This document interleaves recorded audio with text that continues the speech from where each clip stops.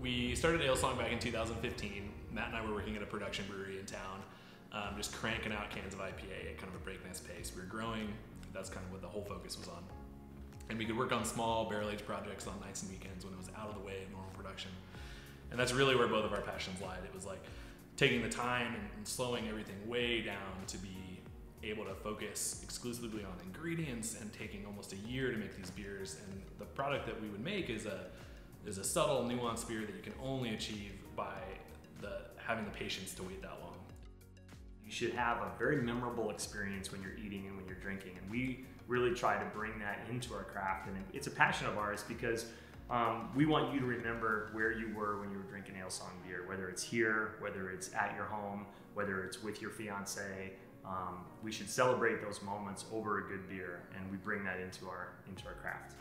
When you see, you know, the beautiful valley surrounding us, and obviously all these wineries that we take inspiration from, in the way that they make their product, but also in the way that they really slow down and focus on the customer experience, um, which is not something that people really do that well in the beer world, but it's important for us. And when you when you sit out here and drink the beers that we've created, um, you know the beers taste better, the food's richer, um, the conversation gets better, and jokes are funnier. It's just a great place to enjoy the beers that we're making. And we put a ton of energy into our membership program and all of our food pairing events, really just with the goal of showing people that beer can be the center of a unique and high-end experience. We ferment everything in stainless steel, and then it goes down into oak, um, anywhere from from six months to two years.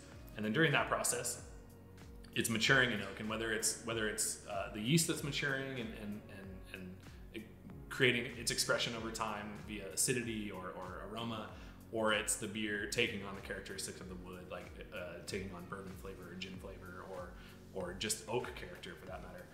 We're thinking about balance. We're thinking about complementary flavors, contrasting flavors, drinkability, and how uh, those types of flavors are all going to meld together for a great celebration and a great experience, actually.